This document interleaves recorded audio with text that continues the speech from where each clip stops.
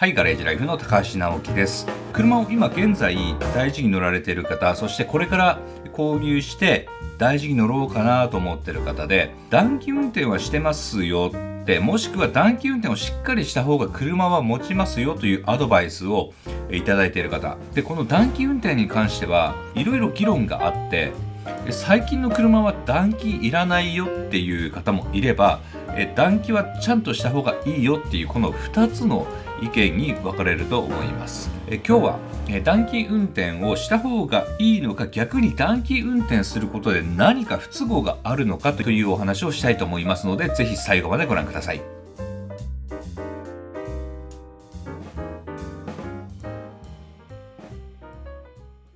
最近は寒い日が続いておりますけれどもじゃあどんなに寒くても暖気運転は不要なのかえそういった疑問をお持ちの方もいらっしゃるかと思います。そこで、えこの暖気運転について掘り下げていきたいと思います。現在市販の車は環境に配慮してアイドリングをあんまりしないようにとか、あと住宅がこう密集しているところなんかでは騒音問題もありますよね。ま、そういったことでよく聞かれるのが暖気運転は不要ですよということが言われております。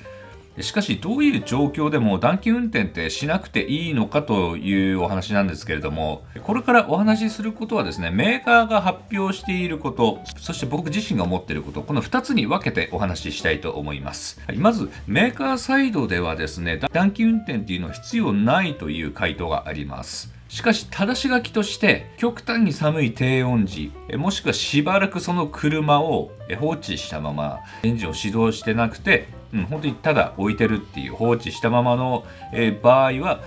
えー、暖気してくださいっていうアナウンスがされています。そしてその暖気運転の時間が数十秒と記されてるんですよ。そしてそれからゆっくり走り出してくださいよっていうアドバイスがされてます。じゃあ僕はどう思ってるのかというお話なんですけれども、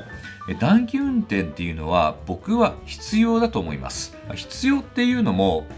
えー、確かにそのメーカーが言っている低温時とかしばらく動かしていない時そういった表現をしている中で特に気をつけてやった方がいいなっていう条件っていうのが低温時というよりも極寒時ですね、えー、これはまあ雪が降る地域で普段の気温がですね常にマイナス10度とかがずっと続く地域があるんですよ。僕の地域もね実際そういう地域に当たるんですけれどもそういった時期になりますと日中でもまず0度を上回ることがない。そういった中では非常に車に負担があります。でその車の構造の話にもなりますけれども車の部品は鉄とかアルミそういったものでエンジンっていうのは組み付けられています。あとその他にエンジンオイル、えー、そして冷却水そういうものが入ってますけれども、えー、金属っていうのはその温度に比例してどんどんどんどん冷えていくわけですよね。逆を言えば温度に比例して熱を持っていくというわけなんですけれどもそうなるとですよエンジンの構造として、えガソリンと空気を混合してえそれを燃焼させて動力を生み出すっていう工程があるんですけどもその中の部品っていうのは先ほどもね、えー、その金属っていうのは熱を持つっていうお話をしたんですけれどもその熱によって膨張するんですねそして膨張した時にぴったりとフィットするっていう状態で作られております。ということである程度その熱を持った状態がベストなんですね。メカ的なところでいきますとそういう構造なんですけれどもあともう一点え車の中で重要な働きをしているのがエンジンオイルです。じゃあそのオイル温まれば柔らかくなる。えそして冷えると硬いんです、うん、例えばこうコップを2つ用意してですよ。えー、冷えてるものであったかいものを入れたオイルを用意してですねそのコップをですねこう下になんか受け皿にこうやって出したとします。すると、えー、この冷えた方のオイルっていうのはドロドロしてるんでドロっていう感じで落ちてくるし、えー、こっちの温まってる方は、えー、サラサラサラサラと、えー、ちょっと水っぽく、え落ちてくんですよ。あそれぐらい温度には影響があります。そうなるとエンジンのどこに影響してくるのかというと油圧ってところに影響してきます。車のエンジンっていうのがですねそのオイルの圧力をしっかりと調整してるんですよ。適度な状態。まあ人間も同じじゃないですか。え血圧。えこれが高すぎても低すぎても調子悪いですよね。まあ、そういうことで車も同じ調整をしているんです。でオイルの役割っていうのはその潤滑っていうのが一番重要な役割をしています。エンジンの中のその回転する部分っていうのは鉄の軸受けに鉄が入ってるわけですからそこをしっかりとオイルで金属を包み込んで、えー、こう回転が実現されてますそのオイルがないとね金属と金属同士が焼き付いてしまって壊れてしまうということになりますのでそういうことで、まあ、エンジンが冷えてる状態っていうのはエンジンオイルも硬いので油圧っていうのも高くなるんですよ。でこれがだんだんだんだん温まってくることによってオイルっていうのはサラサラになってくるわけですよ。ということでサラサラになって流動性っていうのも良くなってくるんですけどアイドリングっていうのは一定の回転数なので硬いオイルをオイルポンプっていうもので圧送するまあ、心臓みたいなもんですね圧送するのと柔らかいサラサラのオイルを圧送するのでは入ってる量は全く同じなんですけれども油温が高くサラサラになった状態だと油圧が低くなるということなんです。ということはエンジンオイルが温まってくると油圧が低くなってくるんで圧送する量もやっぱり少なくなってくるわけなんですよね。そうなるとその守っているところ金属を守っているところがちょっと弱くなってきたりするんですよ。まあ、つまりその金属接触っていうところのリスクが高くなってきます今お話ししたことを踏まえますと、えー、暖気運転これしすぎると実は内部的にはあまり良くないということになりますじゃあ暖気運転って何分ぐらい必要なのと言われるところなんですけれども、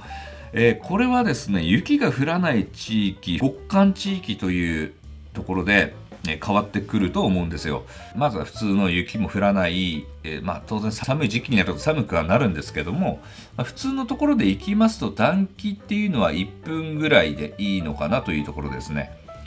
ただ1分とはいえまだそのエンジン内部っていうのはまだ冷えてる状態でございます。ということでそこから走り出すのはいいんですけどもそこでいきなり1分暖気したからといってアクセルペダルをベタ踏みして急加速するとかエンジン回転を高くして走るとかそういうことではなくてゆっくりこう走り始めるっていうところですね。でそこから5分ぐらいかけてゆっくりとじわじわとエンジンを温めていくっていう心がけて運転していくっていうのがいいです。まあ人間も同じですよ。うん、いきなりね例えば競技で、まあ、何のスポーツでも同じなんですけどもえ少し軽くウォーミングアップしてから競技に挑むじゃないですか。例えば軽く走ったりとか筋肉を少し温めてからえ競技に挑むとか、まあ、そういったことと同じですね。でこの走りながらっていうところなんですけども車っていうのはエンジンだけじゃないんですよ。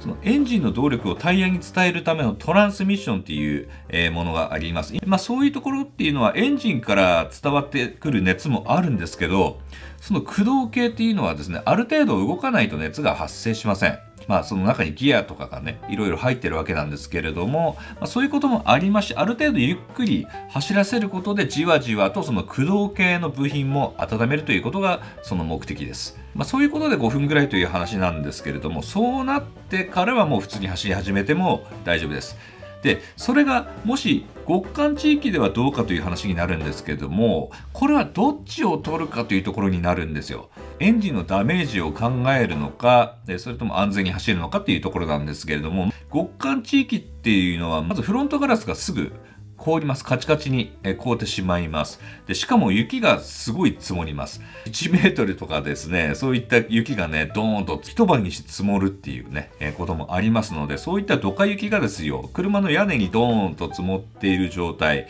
まあ、そういう車はまず何をしなきゃいけないかというと、凍りついたガラスについたね、えー、氷を溶かさなきゃいけない。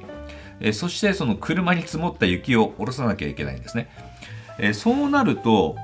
え、やっぱり車を温めておくっていうのが非常にいいんですよ。なぜかというと、室内が温まっていない車の屋根の雪を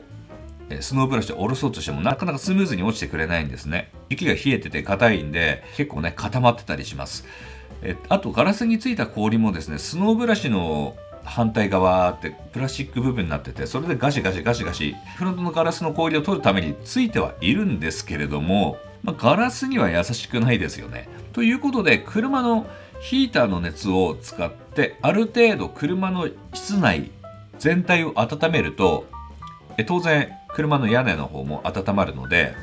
それで屋根の雪もちょっと押すだけでスルッと落ちてくれるんですよ。まあ、車にダメージを与えずにその除雪ができるということになります。えー、まあ、ただそれだけの熱を車に持たせるということは結構な暖気が必要なんですね。まあ、先ほど言った1分とかではま全然温まらないです。だからもう5分から10分くらいですよね。えー、まず車から温風が出てくるまでだいたい5分ぐらいかかりますし、えー、それからさらに暖かい風が出てくるとなればやっぱり10分ぐらいかかるわけです。それくらい視界を良くして屋根の雪を落としてから走り出すっていうのが一番雪国にとっては安全なんですね。そういうことになりますと、やっぱりそれぐらいの時間の暖気が必要になってくるので、まあ、エンジンにダメージがかかるんじゃないかとね、さっきの話からいくとね、じゃあどっちにすればいいのかっていう話になるんですけども、えやっぱりこれはですね、安全に走れる方を優先していただいた方がいいです。エンジンオイルがね、サラサラの状態で、そのまま放置していくのは油圧が上がらないんで、ダメージが及ぶこともあるというお話だったんですけども、しかし10分ぐらいの短期でそんなに致命的なダメージを食らうかといえば、そうでもなくて、まあ、それよりでしたら安全に運転できる視野がしっかりした状態で走り出すのが一番です。まあ、当然、その1分ぐらいね、暖気して走れますよ。走れますけども、今度はその走っている途中に室内が温まってきますよね。そのまま走ってるとですね、車が温まった影響で、積もってる雪がブレーキをかけた瞬間に、やっぱり前にこう力かかりますので、屋根の雪がドドドドドドってフロントガラスまで落ちてきます。そうなると一気に視界が遮られます。で、そこでね、ワイパーで払えばいいんじゃないかと話になるんですけれども、雪って結構重いんですよ。無理やりそのワイパーのスイッチを入れてしまうと逆に今度はワイパーが壊れてしまいます。非常に危険なことなので、まあ、そういった地域の方は逆にしっかり暖気してしっかり走れる状態に仕上がってからというのがいいと思います。やっぱりドライバーの命には変えられませんしえー、それだけじゃなく周りに迷惑をかける可能性もあります雪道は特にですね寒い日なんかはアイスバーンとかあと結構降った日は形ができてたりしますのでそこはスピード出さずにゆっくり慎重に、まあ、僕も含めてですけど、え安全運転を心がけていただければなと思います。今日も最後までご視聴いただきましてありがとうございます。グッドボタン、チャンネル登録をしていただきまして、一緒にカレッジライフを楽しみましょう。それでは。